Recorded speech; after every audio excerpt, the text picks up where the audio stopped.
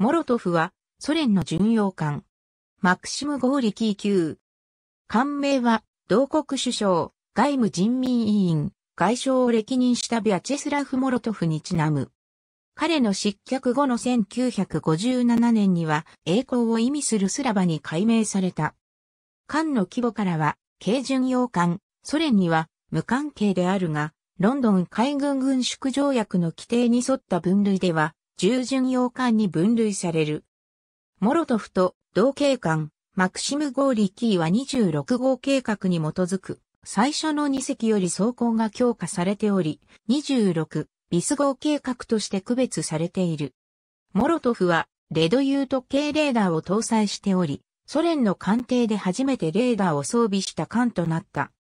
1944年には、ソ連製のマーズ1射撃式レーダーも追加されている。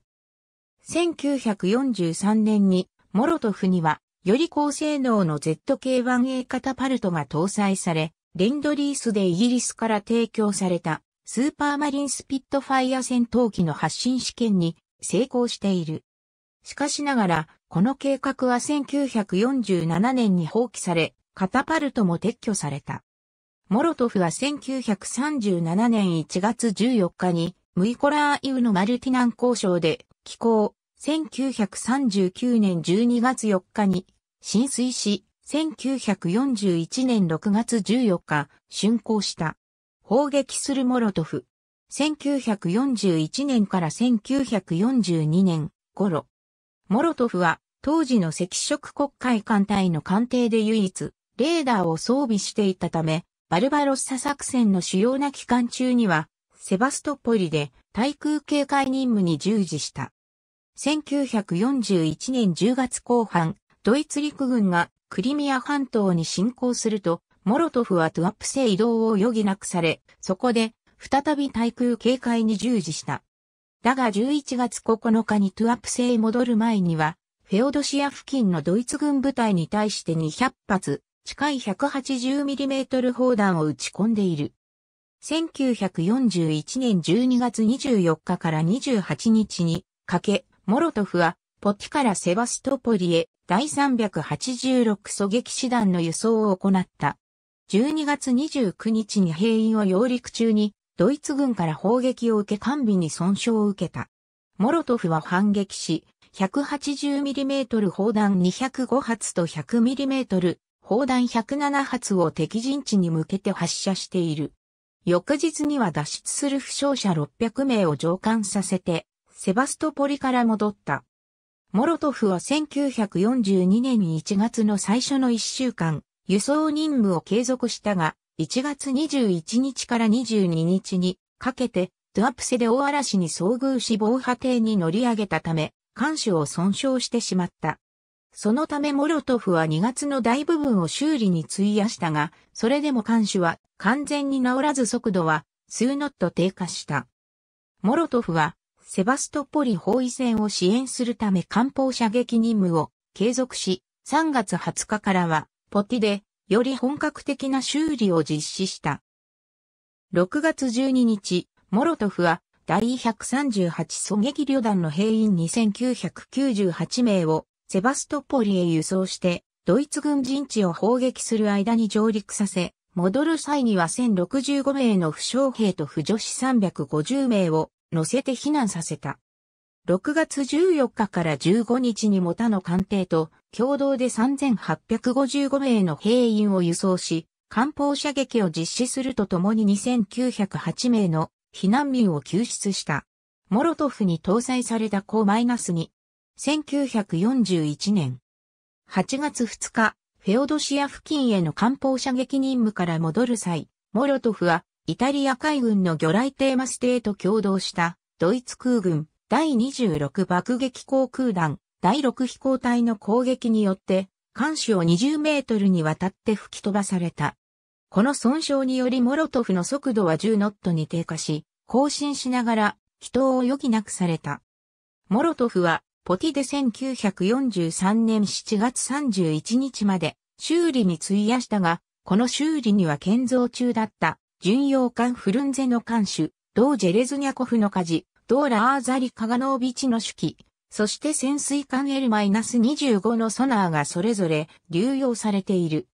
1943年10月6日、駆逐艦3隻がドイツ空軍の爆撃で失われると、スターリンは大型艦を許可なしに出撃することを禁じた。これはモロトフにとって戦争中における活動の終わりを意味した。モロトフは終戦から間もない1945年11月に戦争中に負った損傷の最終的な修理を行った。1946年10月5日にモロトフの第二砲塔の砲弾取扱室から出火し、誘爆を避けるため弾薬庫と砲弾取扱室に注水が行われた。最悪の事態は避けられたものの、この事故によって22名が死亡、20名が負傷した。モロトフは1940年代終わり頃にかけて、ジャパイフ級巡洋艦とスベルドロフ級巡洋艦に搭載されるレーダーの試験艦として活動し、1952年から1955年1月28日まで近代化改装を実施した。この改装で、モロトフにはギュイス対空レーダートリフ対水上レーダー、ザルプ射撃レーダー、ヤコール対空射撃レーダーが搭載された。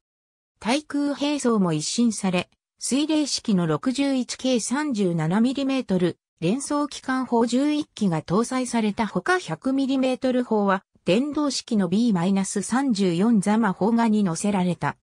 対空射撃式装置はスタビライズ機能を持つ SPN-500 包囲板付きのゼニット -26 に置き換えられ、魚雷発射管、対戦兵装、艦載艇用、クレーン、航空偽装が撤去された。この階層には、スベルドロフ級巡洋艦の建造費の半分から4分の3に相当する20億ルーブルが費やされた。航行するモロトフ。1941年から1942年頃。1955年10月29日、モロトフは爆沈した戦艦のボロシースクの救援活動に参加した。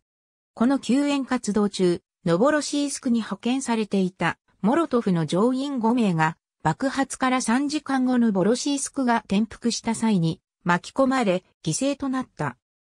感銘の元となったビャチェスラフ・モロトフが最高指導者、ニキータ・フルシチョフソ連共産党第一初期との戦争に敗れ失脚したことを受け、1957年8月3日にモロトフは栄光を意味するスラバに改名された。1961年8月3日、モロトフ改めスラバは練習巡洋艦に類別変更された。スラバは1967年6月5日から30日にかけて地中海へ展開し、第三次中東戦争でシリアに対するソ連の支援を示すため行動した。1970年9月から12日にかけて再び地中海へ展開し、1970年11月9日に、駆逐艦、ブラーブイとイギリス海軍の空母アークロイヤルが衝突事故を起こした際には支援を行った。スラバは1972年4月4日にスクラップとして売却された。ありがとうございます。